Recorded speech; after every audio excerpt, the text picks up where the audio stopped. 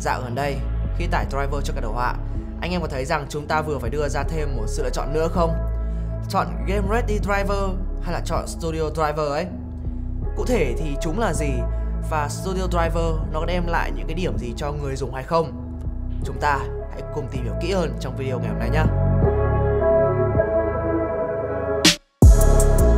Về bản chất, Game Ready Driver và Studio Driver là giống nhau. Chúng chỉ khác nhau về cách phát triển mà thôi.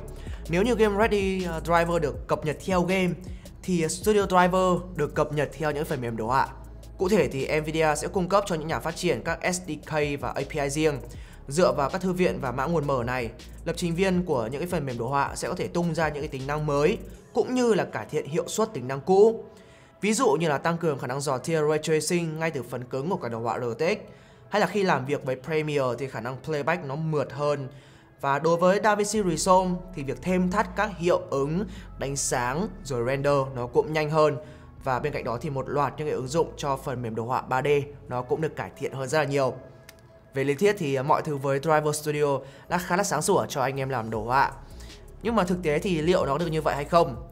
Ở đây thì mình sẽ test thực tế với hai phần mềm đồ họa uh, khá là phổ biến đó chính là Photoshop Lightroom và Adobe Premiere Pro dựa trên những cái cải thiện mới mà hãng công bố cho từng ứng dụng kể trên. Và hai mẫu driver mình sử dụng ở đây thì đều là hai phiên bản driver mới nhất tính đến ngày hôm nay. Và trong bài test lần này thì mình sẽ sử dụng Dell Alienware M15R2 không phải chiếc máy này. À, Dell Alienware M15R2 được trang bị cả đồ họa RTX 2060 nó mạnh hơn. À, thì nên anh em sẽ có thể thấy được những khoảng cách về uh, hiệu năng nó rõ ràng hơn.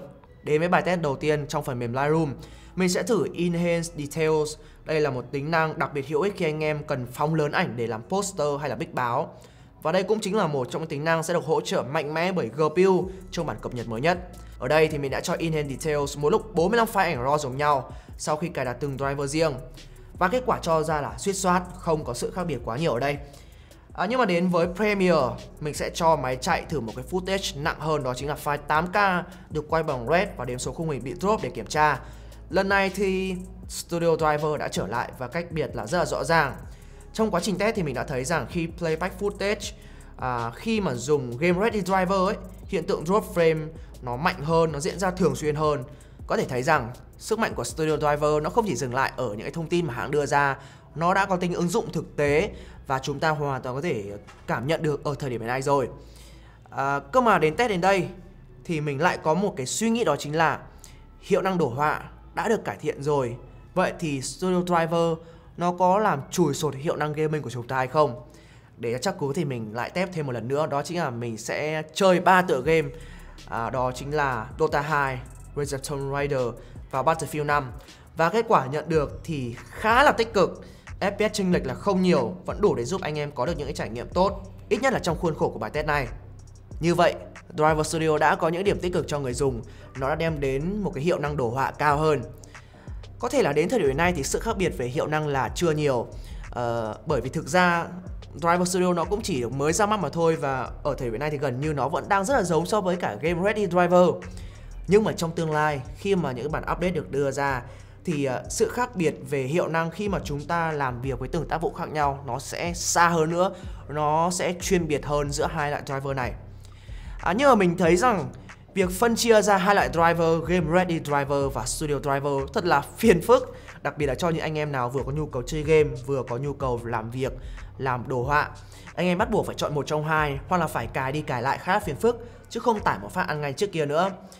Nhưng mà đây là điều mà Nvidia bắt buộc phải làm à, để có thể giảm dung lượng các phiên bản update driver xuống. Bởi vì bây giờ anh em cứ thử tính xem cứ một tựa game hỗ trợ ray tracing thì các bản cập nhật uh, update driver của Nvidia nó sẽ nặng hơn. Mà có phải một game đâu hàng trăm hàng nghìn game thì nó sẽ dồn lên cái dung lượng các bản cập nhật driver. À, tương tự đối với những cái phần mềm đồ họa như vậy à, thì nó cũng làm tăng cái dung lượng update driver. Vì vậy thì việc chia ra giữa game ready driver và studio driver là cần thiết. À, nhưng mà nhìn nhận lại thì uh, việc phân chia ra như thế này hướng đi này cũng đem lại một vài những cái điểm tích cực cho người dùng.